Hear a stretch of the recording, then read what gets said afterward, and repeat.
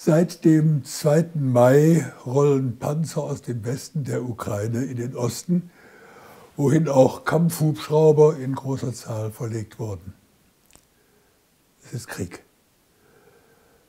Andreas Schwarzkopf schrieb in der Frankfurter Rundschau, ich zitiere, Kiew muss nun gegen die Separatisten vorgehen, um nicht unglaubwürdig zu werden. Zitat Ende. Es gibt Journalisten, denen es gelingt, mit einem einzigen Satz Klarheit zu schaffen. Diese Fähigkeit scheint auch Andreas Schwarzkopf zugewachsen zu sein, dem neuen Ressortchef für Politik bei der FR. Kiew musste nun gegen die Separatisten vorgehen, um nicht unglaubwürdig zu werden. Nicht wahr? Das ist ein Satz, der keinerlei Zweifel zulässt. Die Leser und Leserinnen können zufrieden sein, sie wissen Bescheid.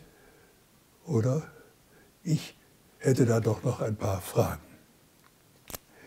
Kiew musste. Wer ist Kiew? Gemeint sind die in Kiew durch einen Putsch an die Macht gelangten Politiker der äußersten Rechten. Und was ist mit müssen gemeint? Kiew musste. Dieses unscheinbare Hilfszeitwort müssen erweist sich bei einigem Nachdenken als das wichtigste Wort in diesem ganzen Satz. Mit diesem Wörtchen rechtfertigt der Autor die militärische Aggression, den Kriegsbeginn. Er behauptet damit, das Regime in Kiew habe nicht anders gekonnt. Er stellt die Aggression als notwendig dar. Notwendig warum? Um nicht unglaubwürdig zu werden, schreibt er. Was ist das aber für eine Glaubwürdigkeit, die dazu zwingt, gegen eine Bevölkerungsgruppe im eigenen Land Krieg zu führen? Was sind das für Menschen, die nur glaubwürdig sind, wenn sie militärische Gewalt anwenden? Die tonangebenden deutschen Medien haben sich immer sehr zurückgehalten, uns die Putschisten vorzustellen. Fast als eine Heilige stellten sie uns lange Zeit Frau Julia Timoschenko vor und gleichzeitig ließen sie Tag für Tag den Boxer Klitschko zu uns sprechen. Timoschenko war früher schon mal Ministerpräsidentin gewesen. Wo sie steht, zeigte sie damals zum Beispiel mit der posthumen Ernennung äh, des faschistischen Massenmörders Stepan Bandera zum äh, Held der Ukraine. Jetzt kandidiert sie für das Amt der Staatspräsidentin. Hm, unmittelbar zuvor verkündete sie folgende Absichten, ich zitiere, Scheiß drauf, wir wollen Waffen nehmen und die verdammten Katsaps, das heißt Russen, töten. Ich selber bin bereit, ein Maschinengewehr in die Hand zu nehmen und dem Drecksack Putin in den Kopf zu schießen. Sobald ich es tun kann, werde ich alle meine Verbindungen nutzen und die ganze Welt alarmieren, um Russland in verbrannte Erde zu verwandeln. Zitat Ende. Diese Äußerungen von ihr auf Nachfragen bekräftigt, ließen sich in den ihr eng verbundenen deutschen Medien nicht ganz verschweigen. Jetzt erhielten andere Leute das Wort, andere Leute aus ihrer Partei und Leute aus anderen offen faschistischen Parteien, die jetzt an der Putschregierung beteiligt sind. Es sind glaubwürdige Faschisten. Solche Leute müssen nicht nur gewalttätig reden, sie müssen auch gewalttätig handeln, um nicht unglaubwürdig zu werden. Ja, diese Leute, die unser Autor kurz Kiew nennt, sind glaubwürdige Faschisten. Bei gründlichem, kritischem Hören und Lesen stößt man oft darauf, dass Medien das Hilfszeitwort müssen dazu verwenden, Gewalt zu propagieren und zu rechtfertigen. Auch in der Innenpolitik, auch im Lokalteil. Zum Beispiel heißt es in Berichten über Demonstrationen immer wieder, die Polizei musste vom Gummiknüppel Gebrauch machen, äh, vom Wasserwerfer, vom Reizgas. Die schlichte Nachricht würde lauten, die Polizei machte vom Wasserwerfer Gebrauch, sie versprühte Reizgas, sie verprügelte Demonstranten mit dem Gummiknüppel.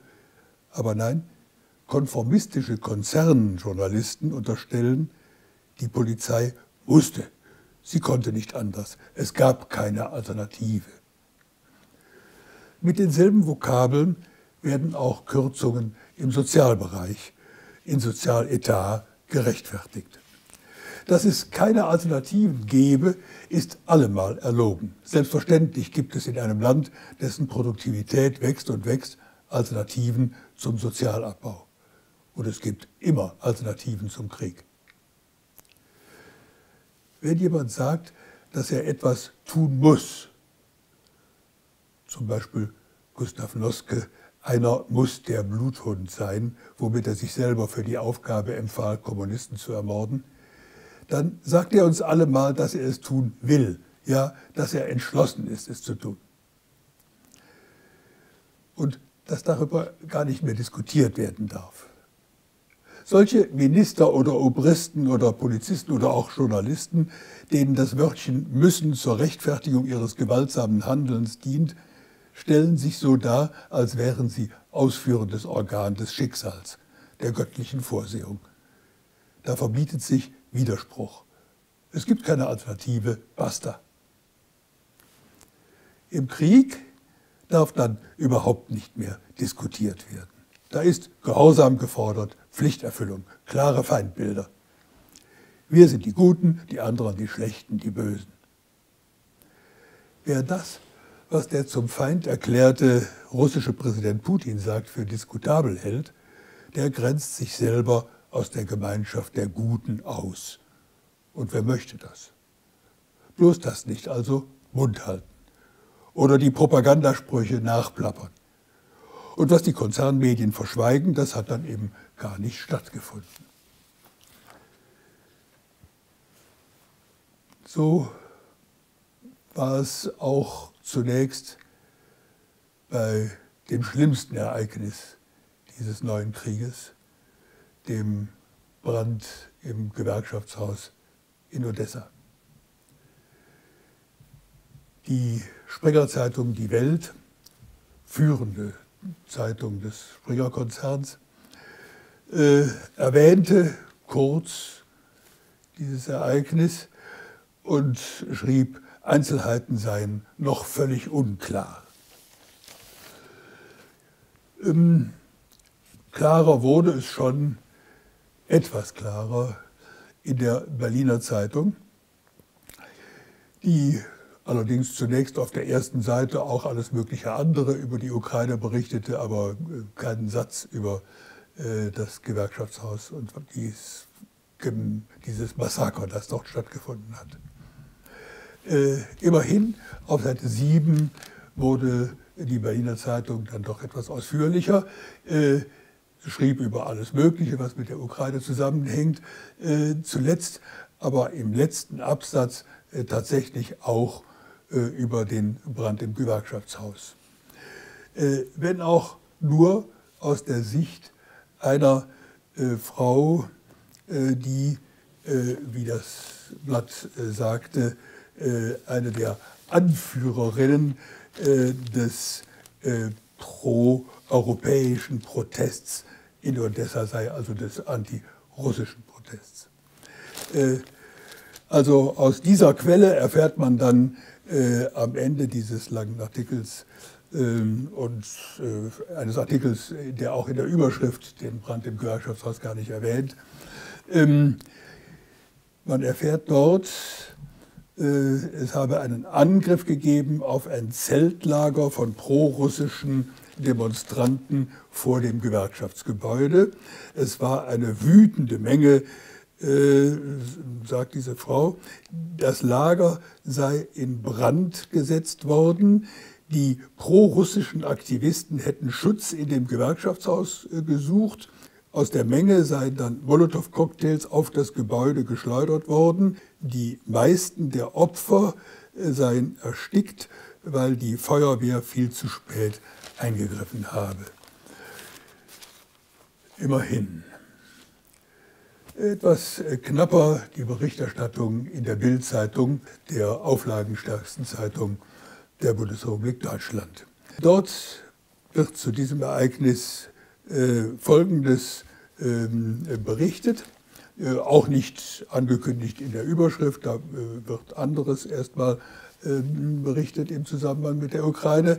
Und dann heißt es, ich zitiere, der ukrainische Regierungschef Arseni Jasenjuk, also ukrainischer Regierungschef, das ist der Ministerpräsident der Putschregierung, Jasenjuk klagte bei einem Besuch in Odessa die russische Regierung an, sie sei für den Tod von 46 Menschen verantwortlich, die am Samstag in der Hafenstadt teils bei lebendigem Leib verbrannt wurden.